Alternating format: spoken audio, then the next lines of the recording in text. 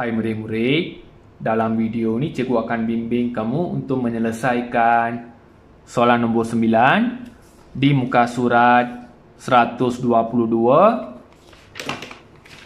dalam buku teks matematik tahun 5. Jadi sebelum itu sekiranya murid-murid ingin lihat video yang seterusnya, murid-murid boleh klik subscribe dan bell button. Okey, soalan nombor 9. Soalan A, Romi membeli 8 1 per 5 kg buah nangka. Dia memberikan 1 per 4 daripada buah nangka itu kepada jirannya. Berapakah jisim dalam kg buah nangka yang diberikan kepada jirannya? Okey, Romi telah membeli buah nangka yang jisimnya 8 1 per 5 kg. Buah nangka yang telah dibeli oleh Romi Jisimnya 8 1 per 5 kg. Tulis dulu jisim buah nangka. Buah nangka jisimnya 8 1 per 5 kg.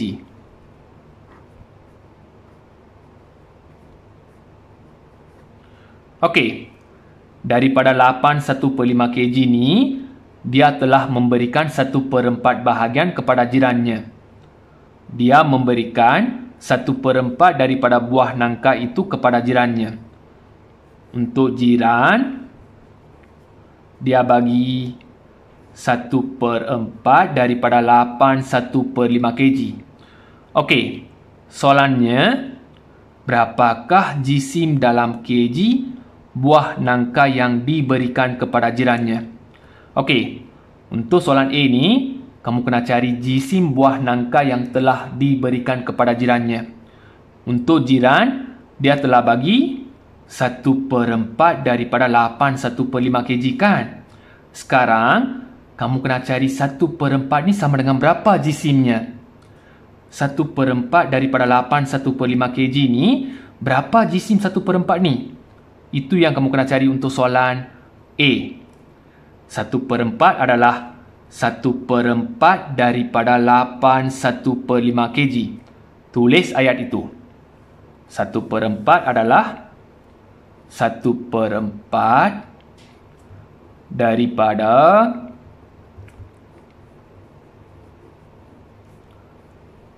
lapan satu per lima kg. Okey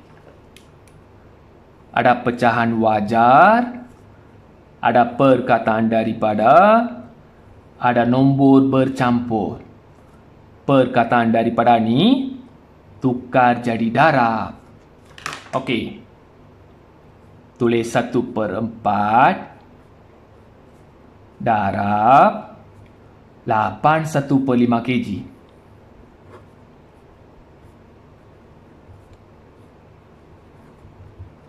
Kalau selesaikan yang ini, kita akan dapat jawapan untuk yang ini. Berapakah jisim dalam kg buah nangka yang diberikan kepada jirannya? Okey. Pecahan wajar darab dengan nombor bercampur. Darab pecahan. Nombor bercampur ini kena tukar jadi pecahan tak wajar.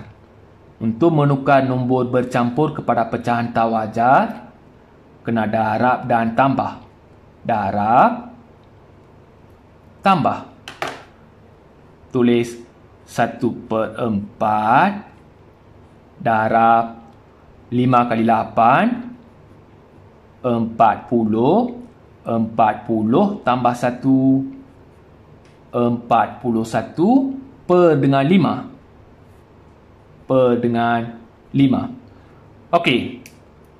Nombor atas darab dengan nombor atas Nombor bawah darab dengan nombor bawah. 1 kali 41, 41. Per dengan 4 kali 5, 20. Yang ini pecahan tak wajar. Nombor atas besar, nombor bawah kecilkan. Tukar pecahan tak wajar ni kepada nombor bercampur. Per adalah bahagi. Tulis 41 bahagi 20. Buat operasi bahagi.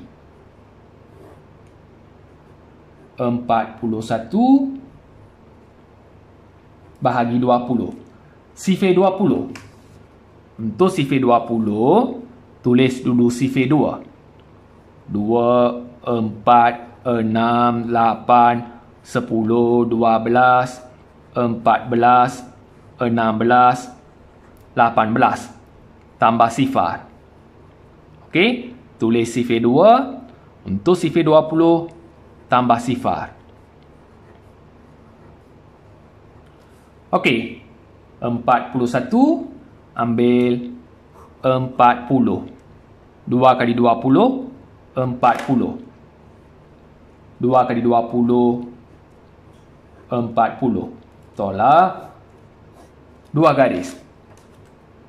Satu tolak sifar. Satu. Empat tolak empat. Sifar. Okey. Susun dalam nombor bercampur. Nombor atas ni tulis A. Yang ini B. Yang ini C. A dua kan? Tulis besar-besar. Dua. B satu. Jadi pengangka. Per dengan C. C penyebut. Dua puluh. Tulis kg.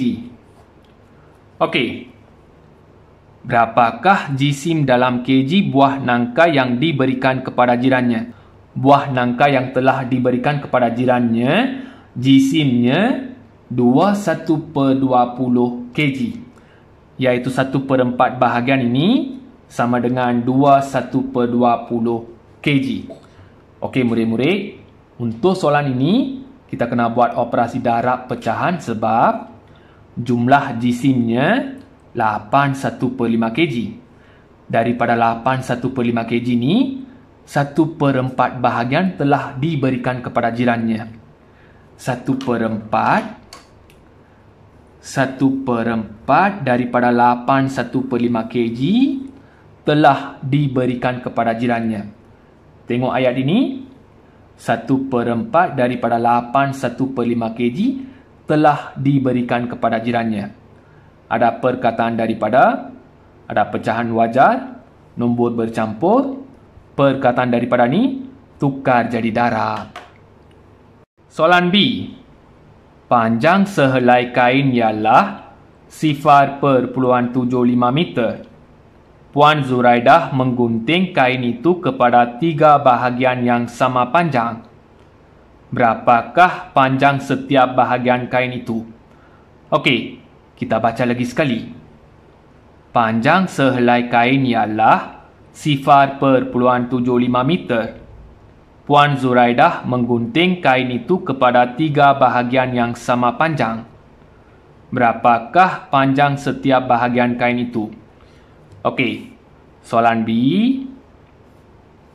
Katakan yang ini adalah sehelai kain.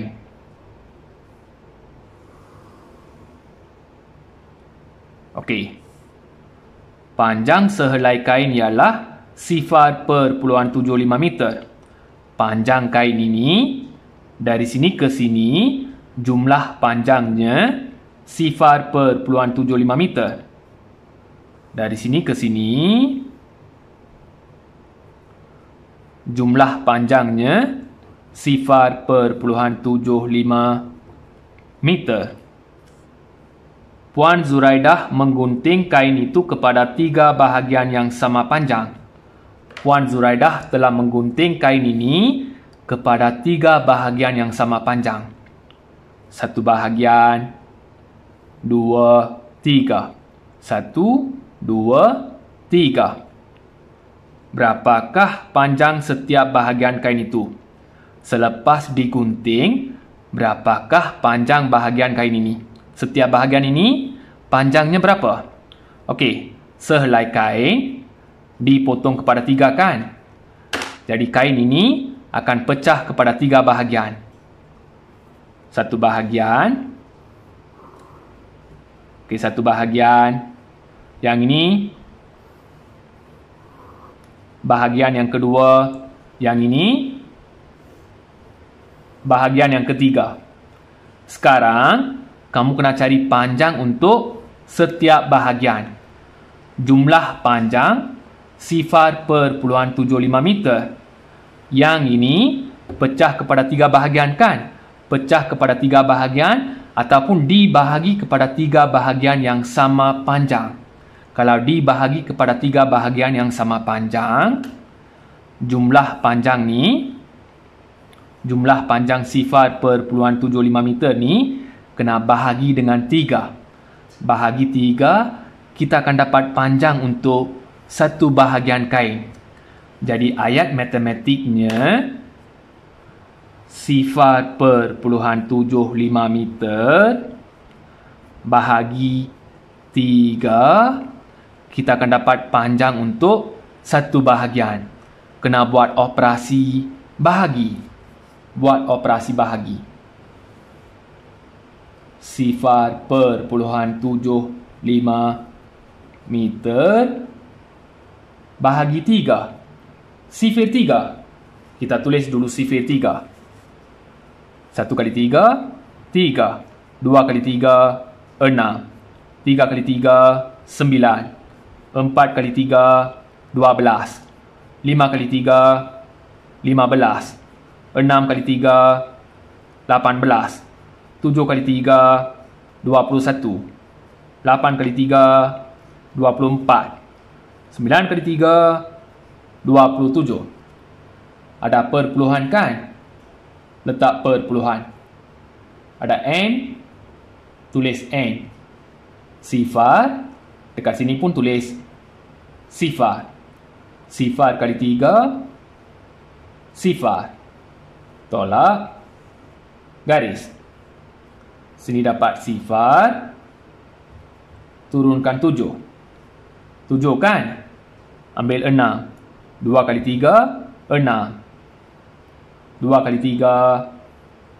Enam. Sifar. Tolak.